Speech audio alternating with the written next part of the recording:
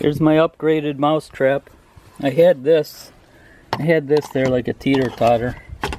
But the mice would get on there and balance it and and I had a wire here to keep it from flipping around both ways. But anyway, they'd get out.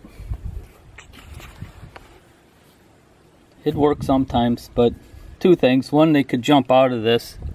So I put some oil I rubbed a little bit of oil around the sides so that when they're trying to, they make some big jumps and they they can't get as good a traction then. And then I put this plumbing fitting on instead.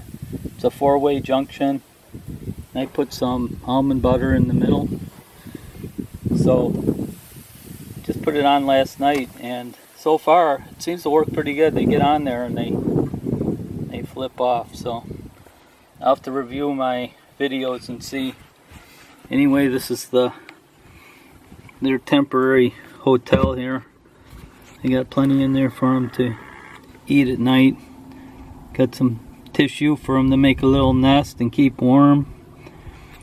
We got squash seeds. We got sunflower seeds, a little bit of apple. So anyway, and they still want to try to jump out. Figure that.